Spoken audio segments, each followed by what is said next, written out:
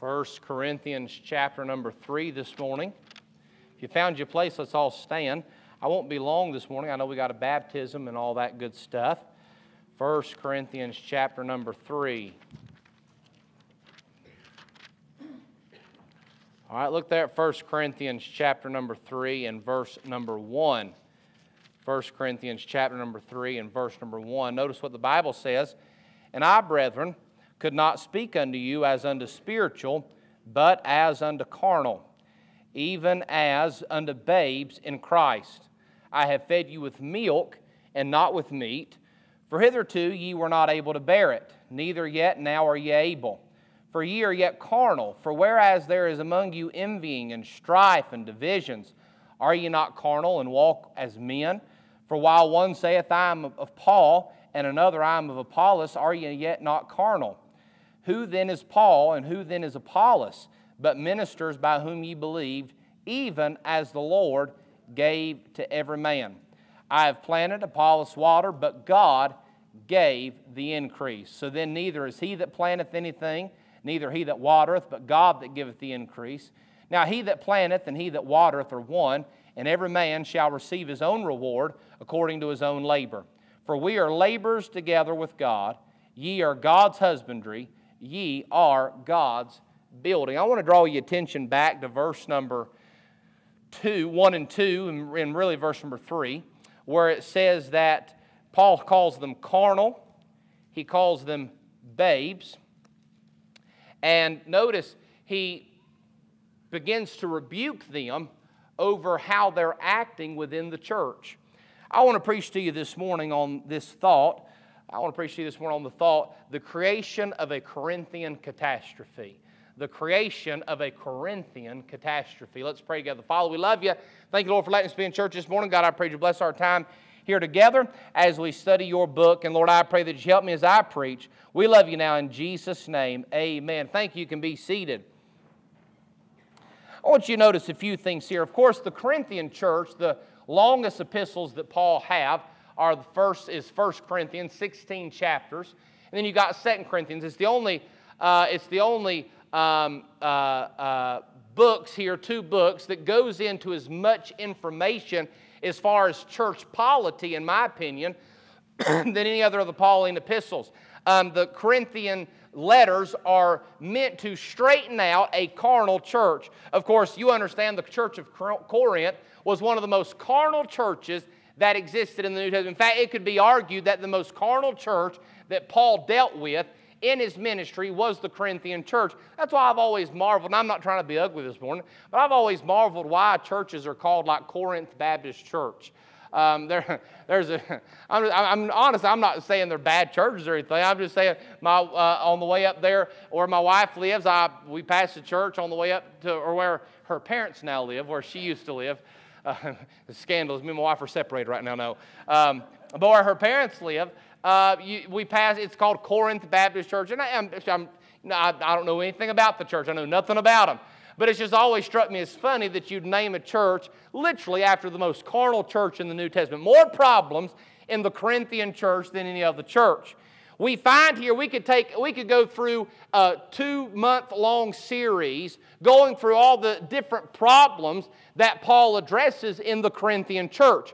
Of course, we understand that one of the problems was fornication in chapter number five. We understand that another problem was in chapter number six, they were taking each other to court. We understand one of the problems in chapter number seven was the law of divorce and what constitutes divorce and who can get remarried after divorce and all that. In chapter 8, he deals with the idea of eating meat sacrificed to idols. In chapter 9, he deals with giving. In chapter 10, uh, he deals with uh, uh, uh, using the Jews in the Old Testament as an example, and all that kind of, and on and on the list goes. In chapter number 11, he deals with the home and the woman and the, pl- the place of the woman and the man and God and all that kind of stuff. Of course, in chapters 12 through 13, or excuse me, chapters 12 through 14, he deals with the matter of speaking in tongues and all that kind of stuff. So, a lot of problems that the Apostle Paul is addressing in the Corinthian church. But there's three things here specifically found in chapter 3 that I want to deal with you. First of all, I want you to notice about these Corinthians. First of all, I want you to notice that they were carnal. They were carnal. Understand, one of the problems that Paul dealt with in the Corinthian church was carnality. Now, listen, I'm not aiming at anybody. I, I don't. I, there was nobody in mind that I had for this message. So, if something hits you between the eyes, know that that's just the arrows of the Almighty that are just falling, and the Lord's directing the arrow. So, if something hits you this morning, then just get down here on the altar and get right about it. Amen. But they were carnal. Now, when we use that word carnal, what that means is, is that means it's of the flesh. It's fleshly. That's where we get the word carnival from. Comes, in fact, the Spanish word for meat, for flesh, is carne, carne asada. That just means flesh, it means meat. It's a Latinized word. So understand when we say carnal, that does not mean that somebody's lost. It doesn't mean they're going to hell. But when we say a Christian is acting carnal, that means that they are acting after the flesh and not after the spirit. Notice Paul says, I could not speak unto you as unto spiritual, but as unto carnal. You know what? One of the biggest problems that plagues our churches today is carnality. We look like the world, we act like the world, we dress like the world, we talk like the world. It is absolutely unbelievable how much of the world has crept into the church. We have thought that by being more like the world, we could win the world. But, folks, you cannot take the things of the world to attract the world away from the world. You have to use the things of God to attract people to the things of God away from the world. It is amazing how Christianity has gotten to such a point where we have members that are so carnal. I mean, just so fleshly. I mean, it, it, is, it is no thought. Uh, now you have people that don't even think about it. They just shack up now.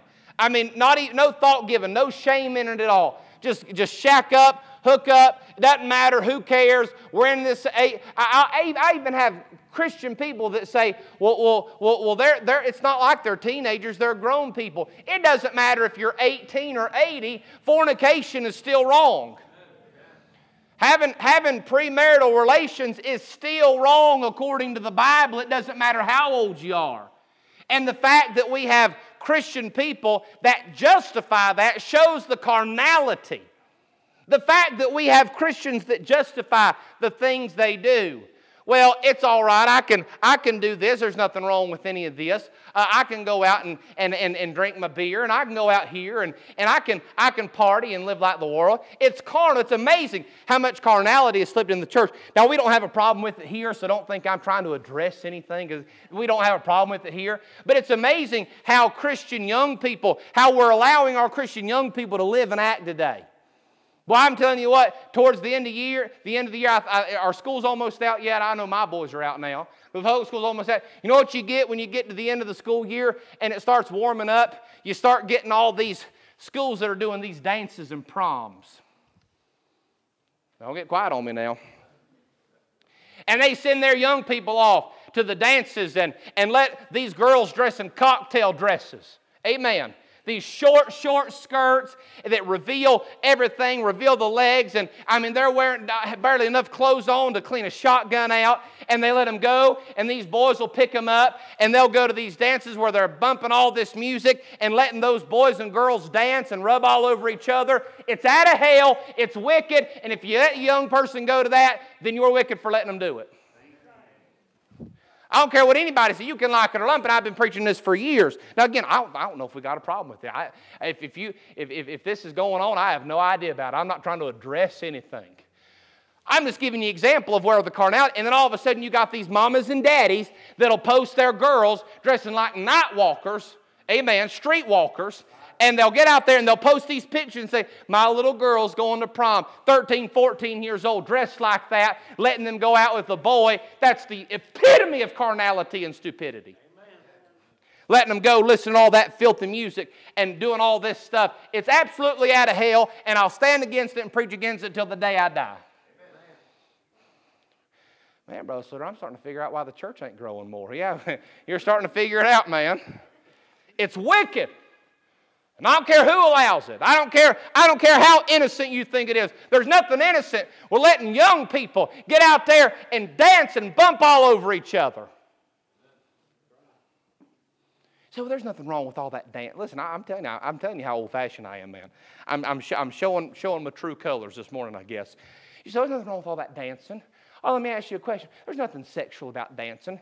Oh, let me ask you a question. If you were to walk into a room and all of a sudden see me and Brother Darren dancing together, what would you think?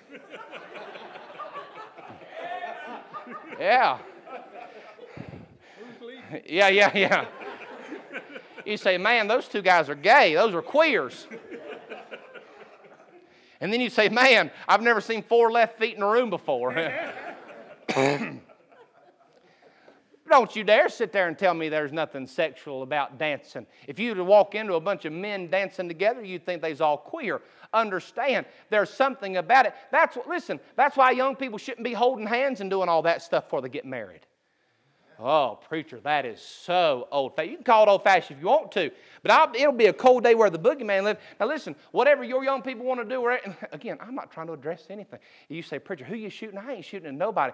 I'm just trying to show you where carnality shows up. You say, well, preacher, uh, what's wrong with what's wrong with young people kissing? You know, giving your first kiss and all that. I'll tell you what's wrong with it. Paul said in 1 Corinthians 7 1, now concerning the things where you're written unto me, it is good for a man not to touch a woman. And you've got all these young people want to lay up all over each other and hold up hands and all this kind of stuff. I had a lady come up to me one time and said, I don't think you ought to fuss at the young people. I mean, it was in this building. She said, I don't think you ought to fuss at the young people for holding hands in church. I said, I'm not going to listen. I'm not pastoring a church where all the young people lay up all over each other. They're not married and they want to hold hands. You can do that wherever you want to, but you ain't doing it here, man.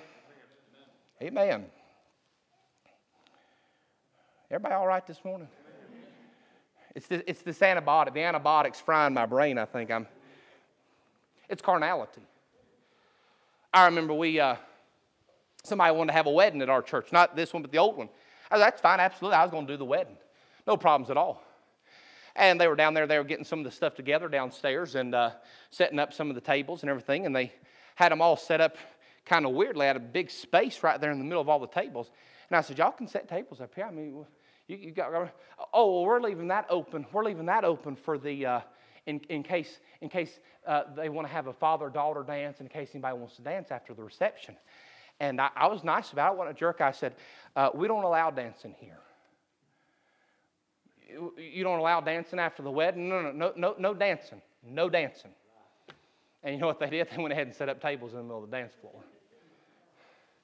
You say, Brother Sluder, what if somebody wanted to use the church building and want to have a dance afterwards here? Oh, they can have the church building. We, we can let them get married here. I'll marry them, no problem. They're not gonna we're not going we're not going to take out the chairs downstairs and set up a dance floor. Amen, amen. amen. We're not, what if somebody wanted to have a reception with some alcohol? We're not doing that here. I won't even I won't even marry a couple. I will not even perform the wedding ceremony if I know there's going to be drinking and dancing at the wedding. One time, some people slipped it in on me. But I asked them, man, I'll straight up ask, is going to be any dancing or alcohol the way? You say, preacher, this you are just, I can't believe. You can say whatever you want to, man. I'm telling you, the carnality has slipped into our churches, and now what used to be sin 75 years ago is now not even a blink in the eye of Christians anymore.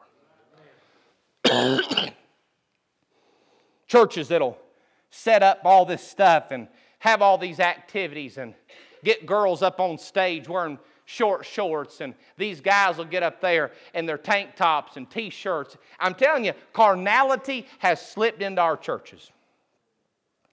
But not only were they carnal, and by the way, you know what the church ought to strive to do? The church ought to strive to be as much like the Lord and as much away from the world as we possibly can. Amen. But not only that, not only were they carnal, but notice number two, not only were they carnal, they were childish. They were childish. He says, I've desired to speak to you as in spiritual, but I have to talk to you as unto carnal, even as what? Unto babes in Christ. He said, I'm, I'm, I'm trying to talk to you like some grown men. The problem is you're acting like a bunch of babies. You're acting childish. You know what the problem? You know what the problem with babies are? I love little. Ba- I love little babies. Gosh, there was a little five-month-old baby at the youth camp. There was a couple had a baby, and I was holding that baby. And they said, "Bro, sir, don't you want another one?" And I said, "No." I, I said, I like holding this one. I said, you know what I love about, about little babies right now? I can hold little babies, and then if they need a diaper change, I can hand them right back. Ah, uh, yeah. I, uh, I, I love little babies. I really do. I like holding babies. I just, there's just something so wonderful about a pure, innocent little child. I just, I just love it. They're just sweet. There's something comforting about holding a baby. I just, I love babies. Here's the thing, though. I like holding babies. I don't like pastoring them. Amen. Amen. I like holding babies. I don't like pastoring them. You know what happens when you try to give a steak to a baby? It gets choked. Now, here's the thing I'm not talking about somebody who's just been saved two or three weeks, just got born again, never been in church. I'm talking about people that have been in church their whole lives, been saved for 25, 30, 45, 50 years, and yet they still act like a child. That's where the problem comes into. When you have a child and it's seven years old and it's still 45 pounds and hadn't grown any, you take that child to the doctor and you begin to say, Why isn't this child growing? There's something wrong with it. Why aren't we asking the same things when it comes to the Christian life? Man, that person's been saved for 35 years, and yet they have not grown in their Christian life at all. Something is wrong. There's a growth hindrance somewhere. That like a child. You know what happens? You know what happens when a baby doesn't get their way? Number one, a baby can't eat. It can't eat strong meat because it's a baby. But number two, you know what happens when a baby doesn't get its way? Pitches a fit. Oh man, I have seen some church babies in my time, some church toddlers. Well, they didn't get their way and they just absolutely pitched a teetotal fit. You know what that is? That's carnal and that's childish, and that's the making, that's the creation of a Corinthian catastrophe. Let me say this nobody has the preeminence in any church, or nobody should have the preeminence in any church except the Lord Jesus Christ. It doesn't matter what you think. It doesn't matter what I think. It doesn't matter what anybody thinks. What matters is what does the Bible say, right? And I've, I've seen, listen, I've pastored some absolute children in the past.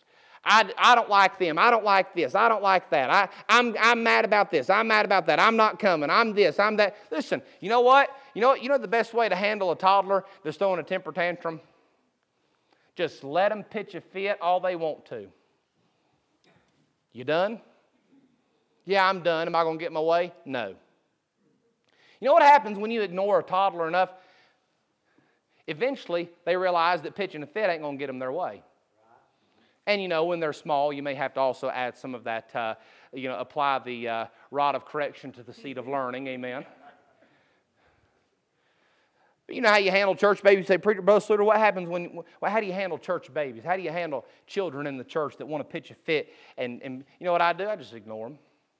Well, I don't like this. Okay. You have every right not to like it.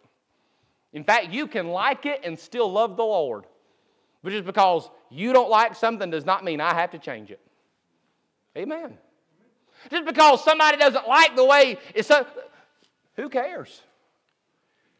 The creation of a Corinthian catastrophe.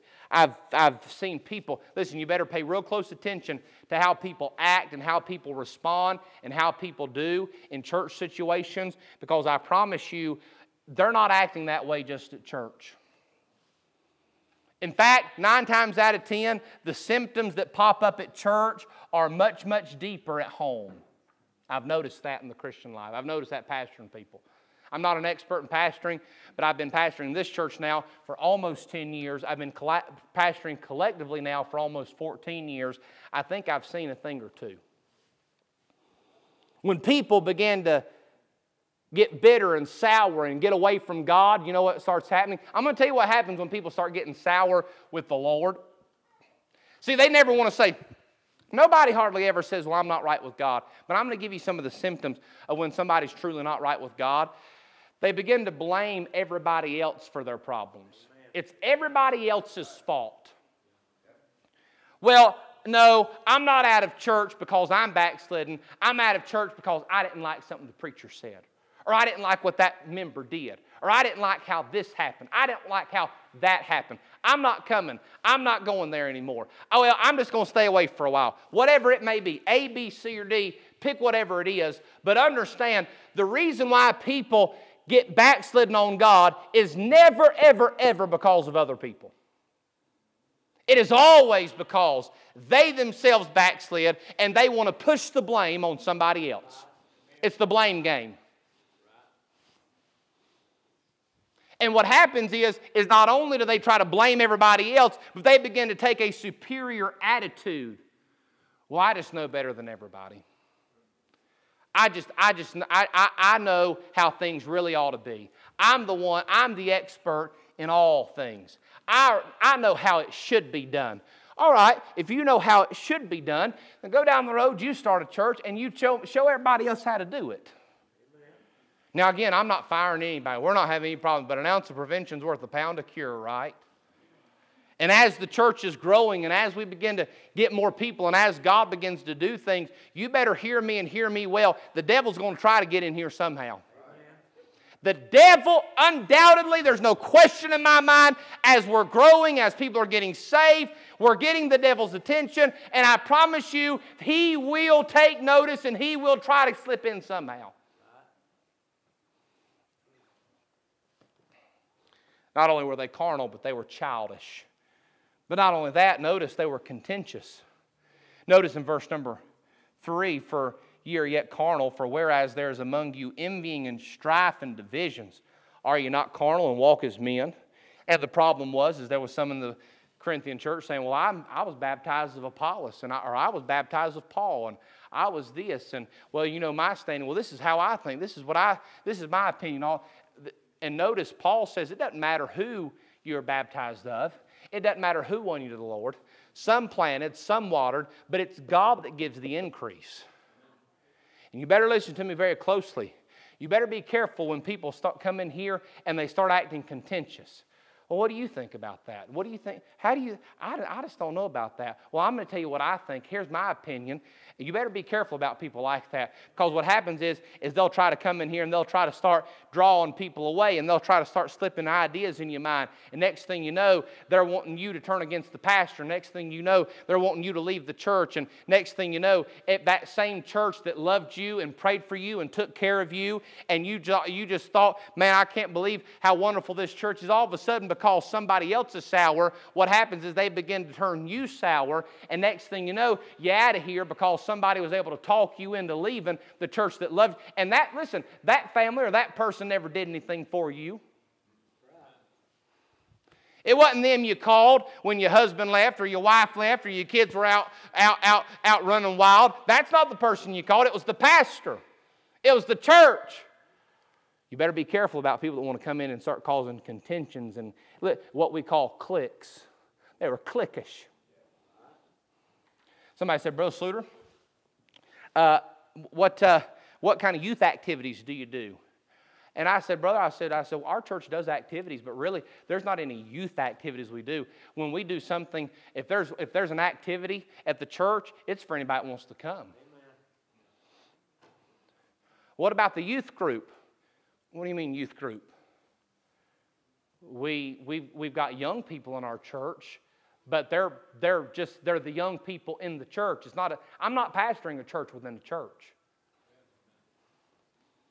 I'm not hiring a youth pastor to come in here and pastor a church within this church. We're not we're not listen you know what we are? We are the body of christ. We are the church we all are in the church. There's not one church for the young people and another church for the old people, another church for the young. Listen, that's why I strive when we have an activity here. I mean, uh, you know, unless it's, you know, something that's absolutely specifically designed for young people. You know, if we were to ever go to a water park, I don't know if we'd want to take some of the older. I don't know if Miss Nancy would fit in at the water park. Amen. I'm not sure that'd be age appropriate for Miss Nancy, but you get the idea. When we have an activity here at the church, we don't have a Valentine's banquet and then have this group or that group. We don't have different activities for this group or that. We are the church. And what happens is, is when you begin to get these things, and as you get these bigger ministries, and I'm not against getting bigger, but you understand what I mean. When you begin to get all these different organizations and different ministries and different this, well, I'm over this and I'm over that and I'm over this. I'm over, what happens is, is people begin to build their own little kingdoms within the church. And next thing you know, it's all about this group or that group or this Sunday school class or that Sunday school class, or it's all about this ministry. Well, I'm trying to start this, but nobody wants to do this, and everybody's so focused. In. And what happens is, is the church begins to lose sight of what our true purpose is. Our true purpose is to not create a bunch of ministries trying to get people in through ministries. Our purpose is to try to get people in through the preaching and teaching of God's Word. That's the purpose of the church to win people to the Lord, to evangelize, to disciple them, and to send them out to do the same thing. That's the purpose of the church. And what happens is you begin to get these cliques and you begin to get these people that want to get their little group and have their little power group and their little control group and I'm the leader of this group and then I'm the leader. And what happens is is it begins to create divisions in the church. And next thing you know, we've got a full blown Corinthian catastrophe. Next thing you know, the church is fighting and can't get along. I'm here to tell you, folks, by the grace of God, I want that to happen here. It's not happening. But you know what I want?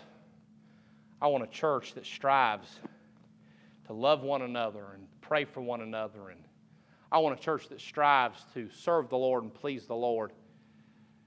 And you better be careful about folks that will try to endeavor to break that bond of unity. You better be careful about folks that are childish and immature and seek to cause division and strife and seek to try to turn you away from the Lord and turn you away from the church. You better be careful about folks like that. Again, an ounce of prevention worth a pound of cure. I promise it's coming. It's inevitable. The devil can't stand what's going on here. He'll try everything in his power to destroy it.